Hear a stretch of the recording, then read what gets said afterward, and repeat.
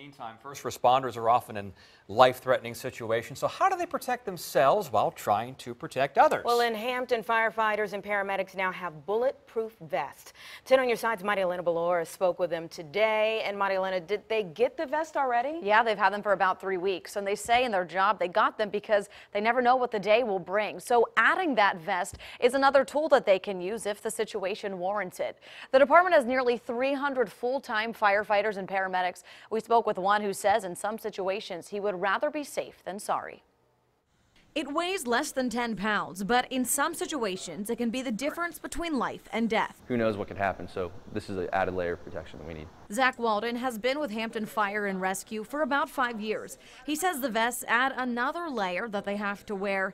It doesn't make them invincible, but it does make a difference. Whenever there's a heightened level of awareness just on your instinct from your training, it's nice to have something else, something physical. Firefighters and paramedics have had the vests for about three weeks, but the process to get them started about a year ago.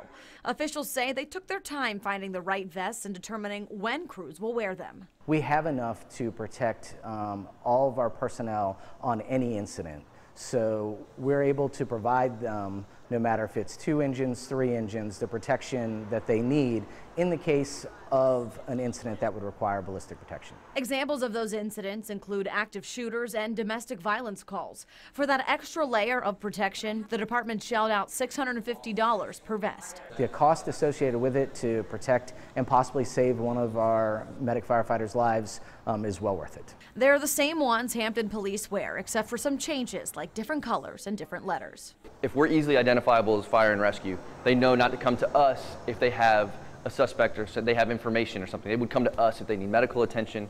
But they have the same goal to protect first responders. Hampton Fire and Rescue is the first department on the peninsula to have the vests. Chief Chittum says Norfolk and Chesapeake fire departments have them as well. I'm Marielena Balouris, 10 on your side.